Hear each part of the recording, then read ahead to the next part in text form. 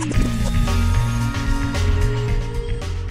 Se trata de crear una red de observadores, de, digamos, de todos los intervinientes que actúan en el mar, eh, desde deportistas, eh, profesionales, pescadores, etcétera, eh, de tal manera que, bueno, que esas